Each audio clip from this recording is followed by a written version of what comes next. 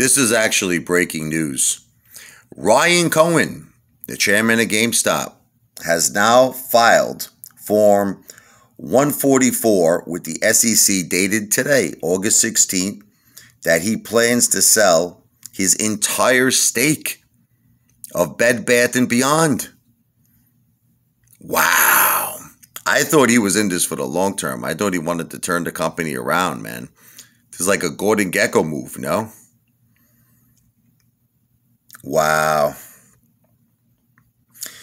It says that his uh, company, Cohen RC Ventures, it holds an 11.8 stake, 11.8% stake, excuse me, in the struggling retailer, Bed Bath & Beyond, is planning to sell the entirety of its stake within the next 90 days.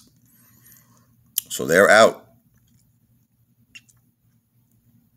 You know, I don't know really what to say about that. I'm not too pleased. I don't think a lot of retail investors are pleased with that news because, you know, we always think of Ryan Cohen as a very strong, powerful force that, you know, he holds with a uh, diamond balls of steel. And I don't know really what his uh, motivation was here. I guess it was just to make money.